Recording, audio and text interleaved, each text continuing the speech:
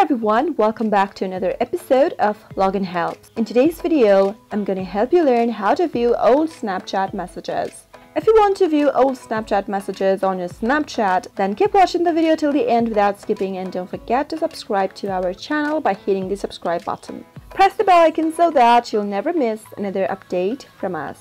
Now let's get started. In order to view your old Snapchat messages on Snapchat, the first thing you'll need to know is you'll need to save your Snapchat messages. Since in Snapchat, if you've received a text message, an image or a video, it will automatically be gone after you view it. However, there are some situations in which you actually will want to recover Snapchat messages for various purposes. So in that case, what you'll need to do is go tap open your Snapchat application and sign into your account swipe right on your screen and you'll end up on your chat screen. Look for a chat button at the upper right corner and select a contact you want to chat with. Once you've selected your contact, from the chat screen simply type in your text message and send it to the contact. If you want to save the message so that you can view it later on, simply tap on the message and you'll be able to see that the message has turned gray.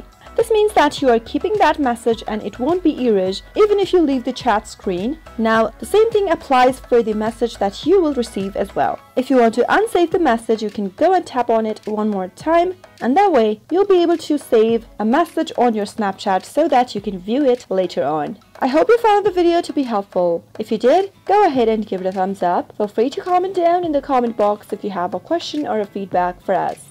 I'll soon be back with more tutorial episodes. Goodbye till then.